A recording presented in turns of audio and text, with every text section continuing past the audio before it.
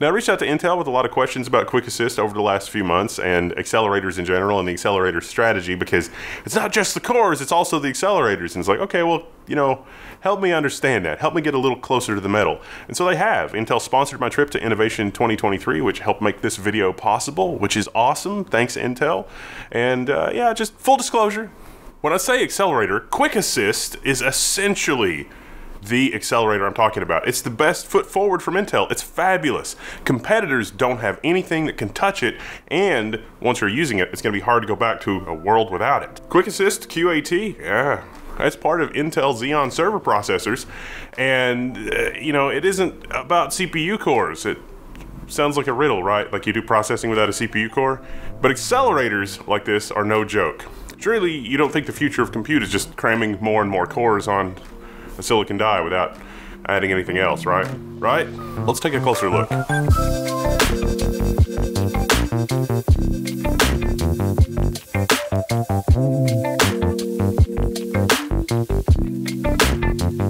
So, computation without a CPU core.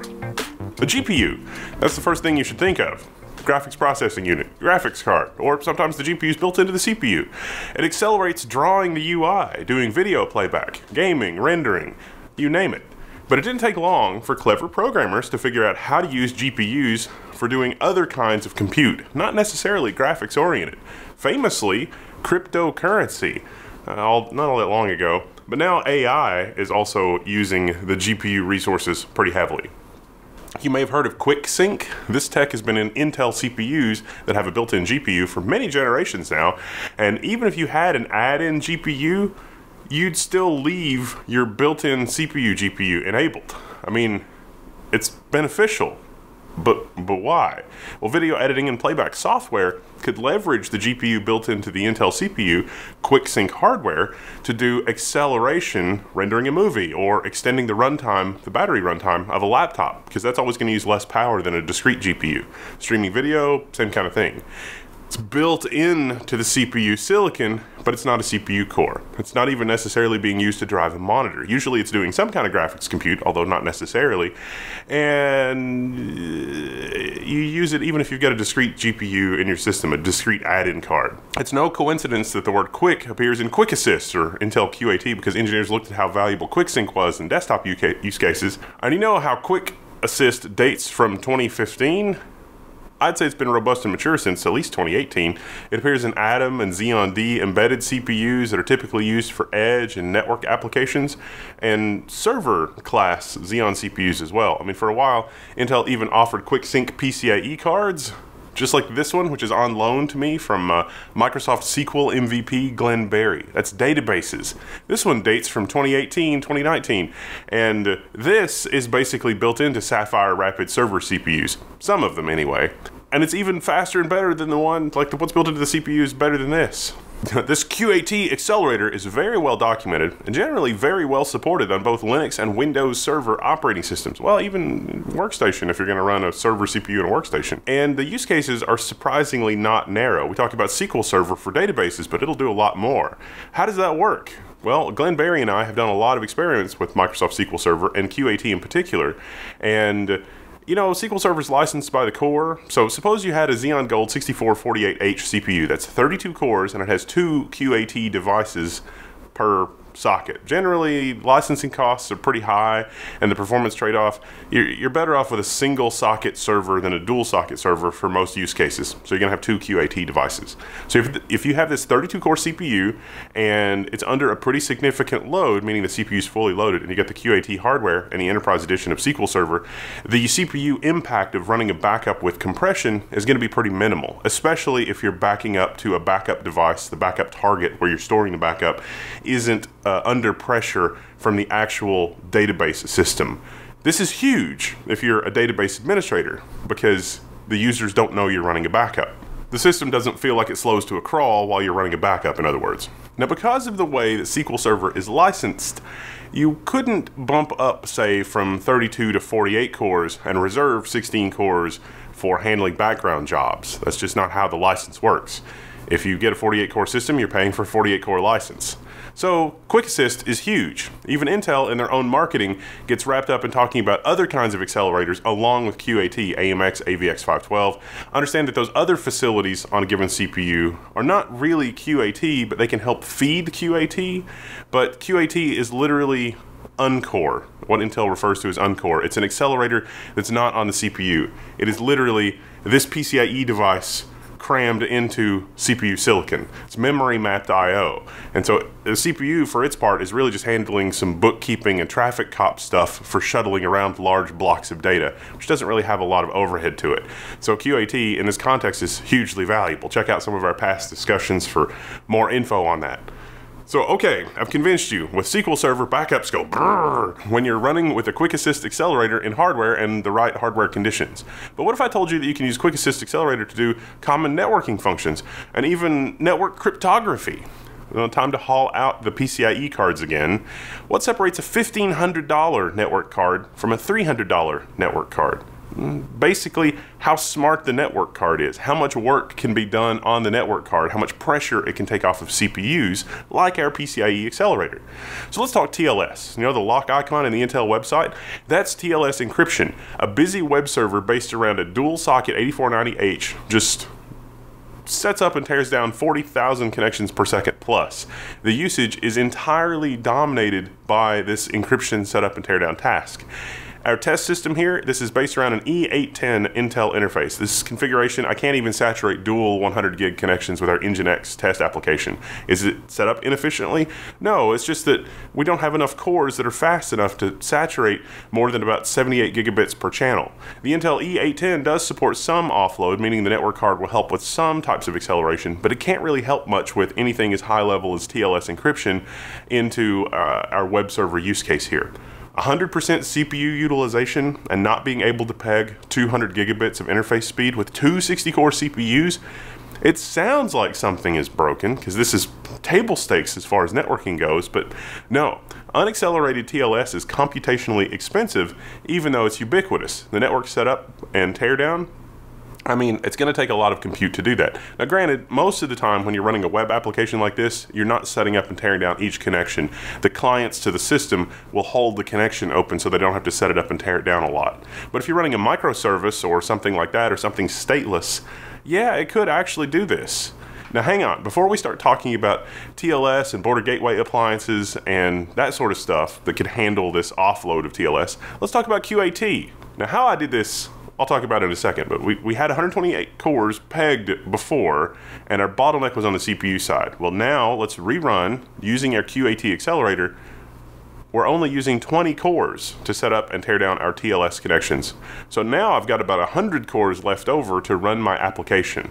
This represents about a 5x acceleration, and it's also moved the bottleneck to the networking stack or the networking interface where I want it. Now, as I was putting this together, trying to figure out the easiest way to show this, it's like, oh, let's go to the terminal and let's run things in the terminal. Uh, that's, that's not super amazing. The thing that you want to look for is the Intel device plugins for stuff. I saw that at Innovation for Red Hat, and it's part of the system. It's, it's part of the ecosystem for Ubuntu, but you can also run it with Docker and Kubernetes.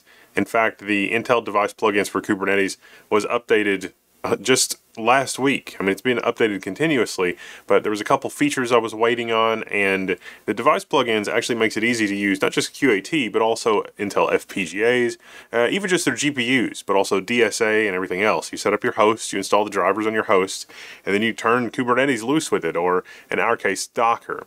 If you need a cheat sheet for Docker, or you just look for Docker resources, there are a lot of Docker containers on Docker Hub from Intel. Some of them date back three, four, five years. Some of them haven't been updated in three years, which is not super encouraging.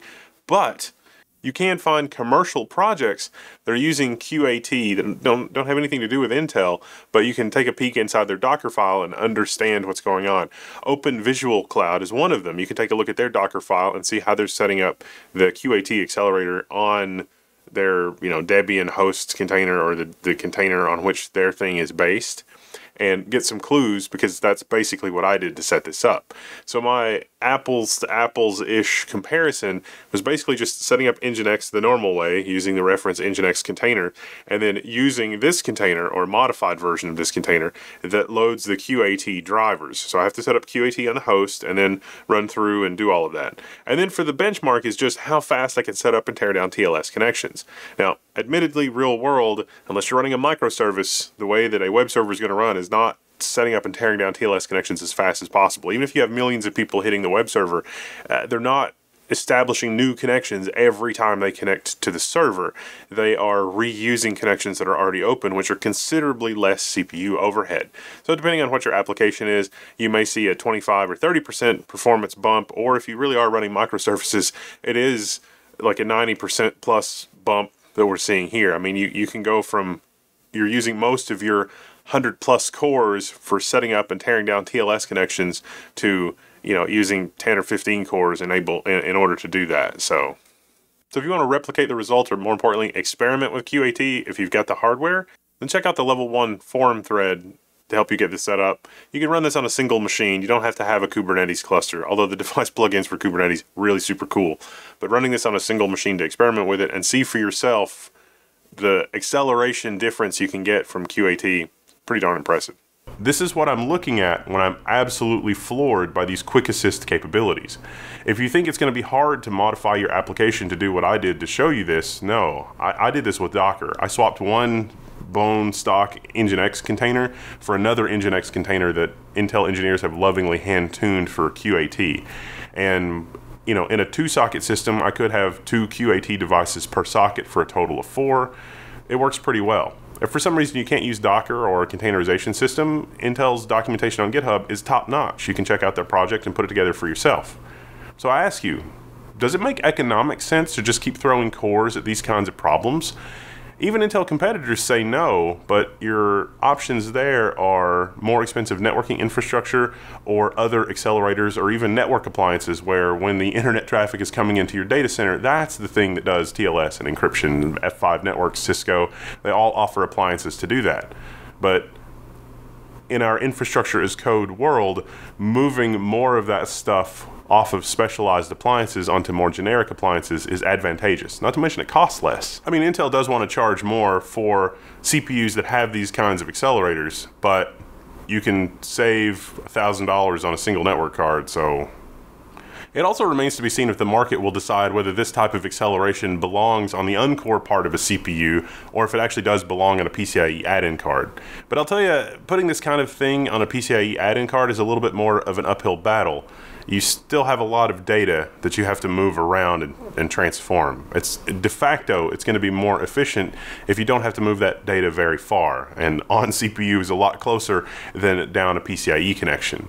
But the QAT is so mature and so much more robust and so well executed it makes me understand what Intel engineers are talking about when they're saying that accelerators as a competitive advantage for Intel is a thing in 2023. I mean, QAT is here to stay, and it's their best example of an accelerator. Now, I've only shown you QAT for backup compression and networking acceleration, and our networking example really is more around encryption than networking, but we are able to leverage it for networking.